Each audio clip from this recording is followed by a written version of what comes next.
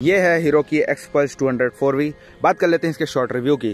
तो इसमें मिलता है आपको 21 इंच का टायर, जो कि हिमालयन के साइज़ का है।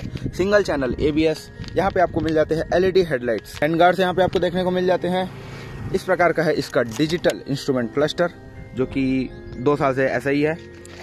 ये इसके नॉर्मल किल स्विचेस हैं। ये इसके हॉर्न साइज़ है।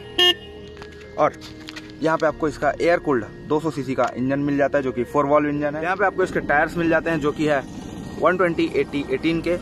हिमालयन में आते हैं 17 इंचेस यहाँ पे आपको पीछे में भी पेटल डिस्क ब्रेक्स मिल जाते हैं। इसका जो सलेंसर है, वो ऊपर माउंट किया गया है। बाकी इस प्रकार की काफ़ी अच्छी लुकिंग बाइक है।